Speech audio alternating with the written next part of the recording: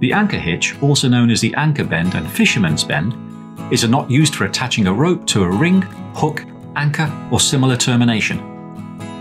This nautical knot is especially strong and simple.